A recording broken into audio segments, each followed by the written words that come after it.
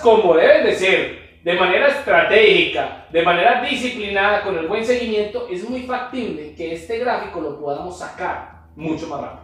Entonces, este es un tema mucho más amplio, donde amerita una conferencia eh, solamente para este porque ya es muy técnica y poder avanzar, pero por lo menos poderla traer en abrebocas y poder avanzar mucho más en términos digitales de cómo no dejar caer que esos proyectos de emprendimiento se saturen y se pierdan ese motor emocional. Porque cuando se pierde ese motor emocional, realmente es cuando se acaban todas las ideas de emprendimiento. Y ahí es donde, donde queremos trabajar fuerte y poderlo visualizar y hacer un plan serio para que realmente este punto de inflexión salga a flote mucho más rápido.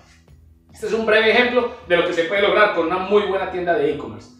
Así que hoy tenemos que el, hay un 50%, un 50-50 de productos virtuales y productos físicos. Hoy la tendencia está creciendo y sobre todo después de la era after COVID.